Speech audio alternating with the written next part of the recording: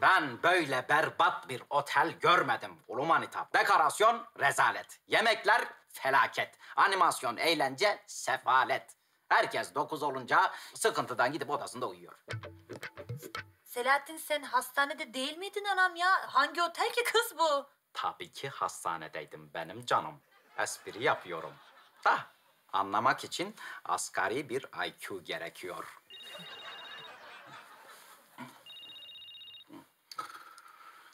Dinlemedeyim Gülistan. Ha yok ben çıktım. Sizi beklemedim. İyiyim iyiyim. Nereye geliyorsun? Ee, ben e, bir arkadaşın e, dükkanına uğradım. Ee, oradan e, eve geliyorum. Geliyorum tamam. Oldu. Aman çekilme Silahattin abi dükkan senin. Tülay. Bak arıza yaptın diye hastaneden direktman sana uğradım. Kortizondan ayaklarım şiş, zor yürüyorum.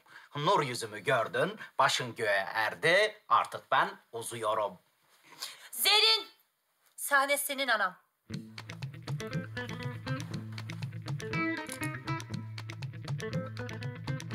Bu ne lan? Maskeli balo mu? Yok gülüm bence cadılar bayramı. Selahattin. Seni görmem imkansız rüyalarım olmasa. Senin masken arada böyle zerine takıyorum ki hasret giderebileyim. Seni göremediğim için düşün. Ya beni görüp de ne yapacaksın benim canım? Benim fikirlerimi kavra yeter. Fikirlerim ne? Konsomasyon yok. Şarkını söyle, namusunla otur, beni bekle. Vallahi unutuyorum ben senin yüzünü anam. Diyorum bu adam sarışın mıydı, esmer miydi, Çinli miydi, Afro-Amerikan mıydı? Bak, zenci bile demiyorum. Siyaseten o kadar doğrucu bir insanım.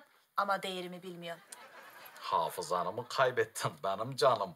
Niye hatırlamıyorsun beni ya? Ben senin yarım porsiyon IQ'nu yerim. Seni de yerim. Ama şimdi değil. Sonra. Paket yap, sonra yiyeceğim. Hadi görüşürüz.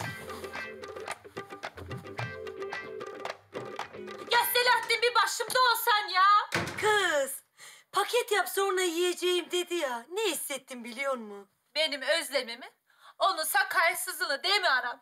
Ya ben bu Selahattin'e bir doyamıyorum ya. He ben de doyamıyorum onu dedim. Açım kız. Gidelim paket yaptıralım. Yarın porsiyon ekmek köfte bir şey. İçime sindi kalk. Kanalımıza abone olarak tüm videolardan anında haberdar olabilirsiniz.